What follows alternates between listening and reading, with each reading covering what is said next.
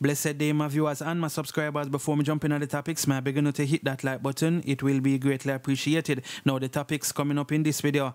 Donna-Lee brother and friends plan to do a protest against Noel Maitland getting bail. Jahshii the Silk Boss and allegedly Skeng in his latest song called Miggle Day. Police believe that the conning of a teen recently could be linked to reggae singer Tabby Diamond. Capleton reveals that his is being targeted. Rihanna baby father ASAP Rocky pleads not guilty in court.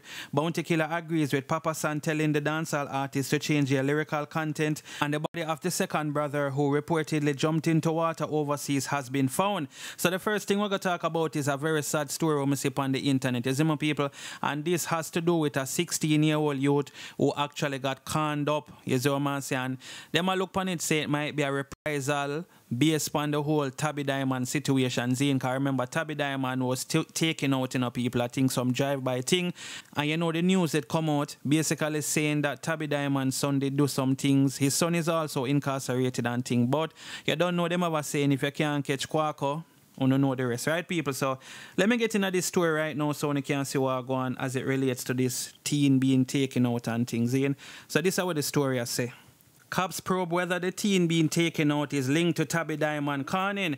There were several S-H-O-O-T-I-N-G-S and at least six conning across the island in the last 48 hours. Investigators are probing whether one of the conning, that of a teen, is linked to the conning of reggae star Donald Tabby Diamond Shaw earlier this year. The suspected reprisal involved a 16-year-old boy, Janai Ellis, of a Seaward Drive address, who was out on Seaward Drive in Olympic Garden, St. Andrew on Tuesday night about 10.20.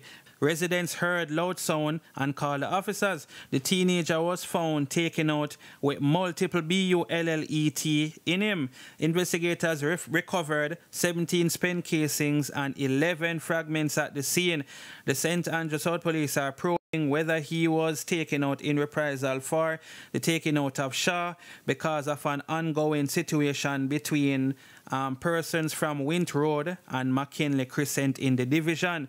You see it, people, so it's a sad situation still, and at the end of the day, like I always say, you see them type of thing here, like one area war with the next area and them thing there, as some people were innocent are going to end up in the middle. You understand what I say? Them now catch the people who them want to catch, you know. You understand that's the worst thing about it. Them now catch them people, eh, innocent people when have nothing to do with anything. You understand? 16 year old youth and thing.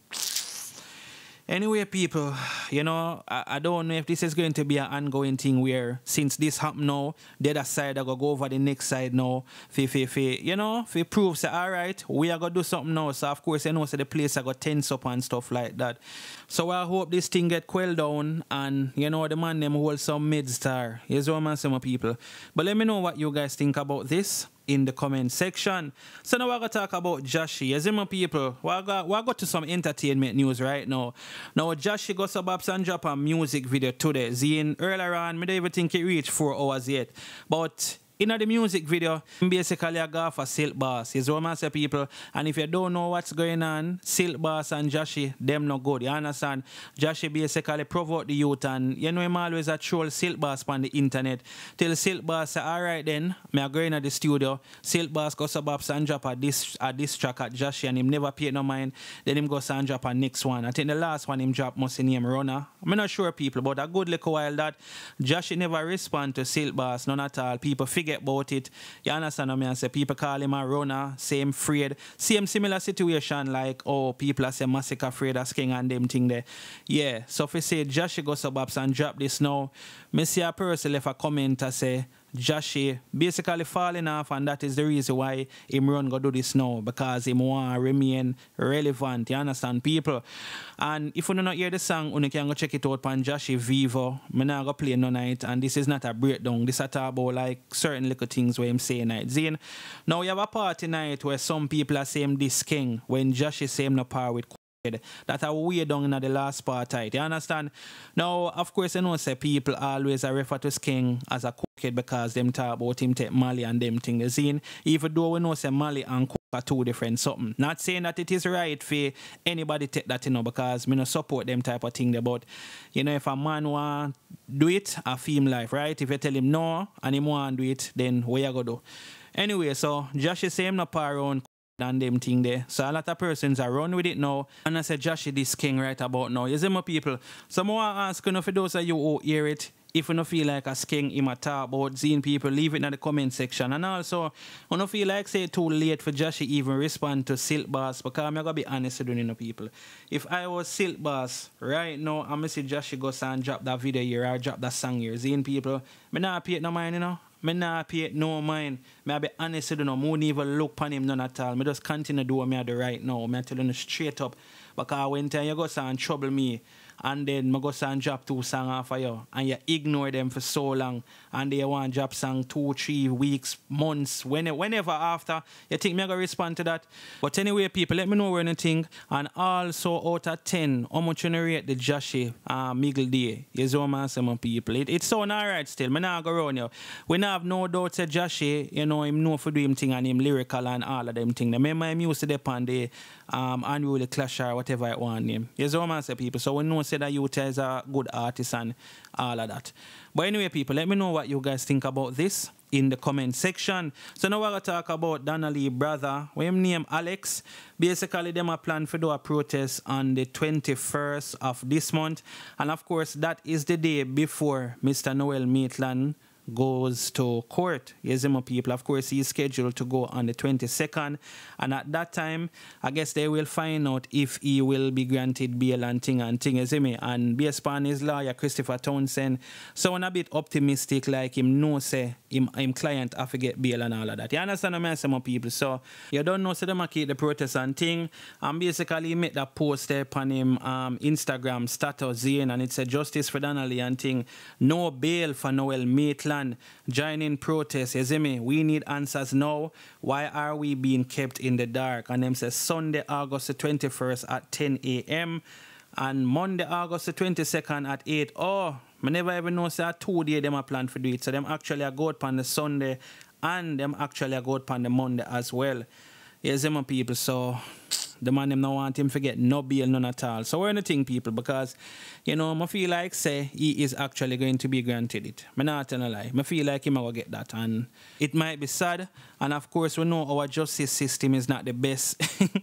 you understand what I say? So let me know what you guys think about this and I mean if you don't want go out there on the Sunday, I don't know. And you know, lend on voices for sure support for Donna-Lee then uno go out there and do that. You my people? So let me know what you guys think about this in the comment section. So now we're going to talk about the BODY of the second brother being found overseas. You understand what I people? When you're supposed to see this story on the internet, it went viral where two brothers supposedly jump off in a some river and them couldn't find them and all of that. So let me get into the story right now so you can understand what's going on. You see my people? So it said the BODY of second brother in Martha's Vineyard situation found. The BODY of the second of two brothers from Jamaica who couldn't be found after heading into the water from a Massachusetts bridge has been found. Officers say that the BODY of Tavan Bulgin 21 was found by a fisherman around 11:30 a.m. Thursday on the pond side of the bridge in a marshy area, according to media reports. Tavan Bulgin was among four people, including his 26-year-old brother, Tavares Bulgin, who, you know, head into the so-called Jaws Bridge on Martha's Vineyard on Sunday night. Tavares was found taken out Monday morning. The other two were not hurt. The brothers' parents, Reverend Keith Bulgin and his wife, Jacqueline, have jetted off to the United States to claim the BODIES of their sons. Yes, my people, so as I say, um, sad situation. Yes, I say. Um, I don't know, I just want to condolences to the family. That's all I'm going to say. And, you know, I'm hoping to find the strength and just hoping to get a lot of support and thing. You see me? Two sons. Anyway, people, let me know what you guys think about this in the comment section. So now we're going to talk about reggae superstar Capleton, who feels like his life is being targeted and stuff like that. Is my people? So let me get into this story right away. So it's a Capleton says his life is being targeted. Iconic reggae singer Capleton has revealed that haters have been targeting his life and one of the attempts made including P-O-I-S-O-N. The Who Dem singer made the revelation before ending his performance at Thursday Night Live. Recently Capleton walked away with minor injuries after he reported the lost control of his Mercedes-Benz and crashed alongside the Cocoa Main Road in St. Thomas on the morning of August the 9th. The Rastafarian artist artist announced at the Red Stripe sponsored event that there were several incidents that he had survived, giving the impression that the accident might have been another attempt to take him out. You see my people? And him go on for say, them try send me to prison, it no work. Them try put common pin in my food with copper, it never work. Them a try P-O-I-S-O-N me. How much time, it still no work. So, you know the artist I say, you know, basically, him have to be very careful we eat from and all them thing there. You understand what I say? A serious thing there, you know. If people are trying to do certain type of things to you and it no work, you have to be careful who you have around you and all them things. But I think Capleton don't know them thing there. You see my people? So let me know what you guys think about this in the comment section. So now we're going to talk about some international news as it relates to Rihanna's baby father and boyfriend ASAP Rocky. Here's eight people who actually went court yesterday. So it's ASAP Rocky pleads not guilty to firearm charges. The Harlem rapper appeared in court on Wednesday in Los Angeles to answer to two counts of assault using a semi-automatic strap against his former high school friend. ASAP Rocky, whose real name is Rakim Mayers, got news of the charges on Monday after he allegedly some con at someone and it grazed them in November 2021. Rocky, who appeared with his attorney, pleaded not guilty to the counts after the judge read them to him. He is accused of luring his friend Relli to a location in Hollywood where they had a disagreement that led Rocky to, you know, pulling out the thing and basically it at his friend. You understand? So you know, him plead not guilty and stuff, but the officers them also reveal that they have video evidence for sure say him did actually do it or Rocky was the one who do it. So when I know still, for him go suburbs and plead not guilty and the, the investigators they must say them have video footage of this. It will be very interesting to see how this whole thing work out, you understand? Riri I forgot us spend up some of millions that we should have for try to keep him out. Anyway, people, let me know what you guys think about this in the comment section. So now we're to talk about gospel artist Papa San. You know, basically I tell the young artists them to change the message in a them content and stuff. And Bounty seemingly agreed with the, the, the, words that Papa San is saying and things, Is my people. So let me read the article and then to actually show you what Bounty posted in the comment section, is it? So it said, change the message in dancehall music, pleads Papa San. Pioneering dancehall gospel artist Papa San believes that dancehall music is too powerful a tool to be carrying such negative message. He therefore has won for dancehall artists change the lyrical content, acknowledging that he was guilty of the same thing when he was a secular artist. Papa San noted that the thing he would love to see most is for dancehall artists to join him in a Christian lifestyle. The founder of the Florida-based Our Father's Kingdom International Ministry stated, I know the influence that dancehall carry because I've been through the world and I've seen it and doing so much album and so many number one songs and going to so many different places all over the world.